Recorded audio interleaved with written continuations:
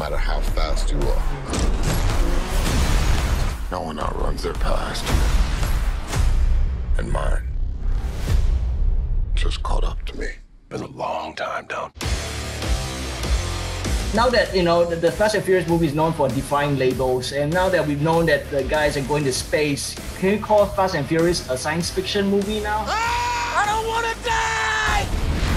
tried to really hard to not be labeled as a franchise, and I think we wanted to develop a language. We made a commitment to always try to like redefine ourselves. People say it's just a car movie, but for us, it's important to, to know that we're constantly trying to grow. Man, we messing with magnets now?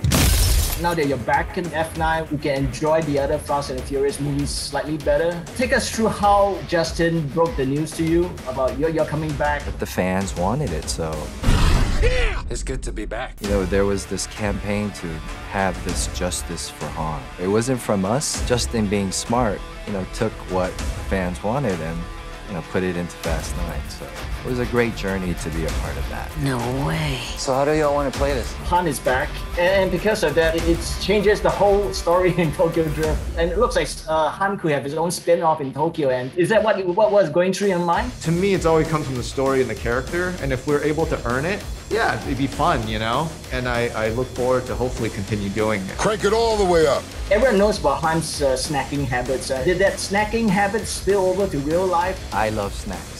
Han loves snacks. Sung loves snacks. So it wasn't really acting. What kind of snacks do you normally go for? Anything with cheese on it. We need help. And good luck to Star Wars. Ah, thank you. May the force be with you.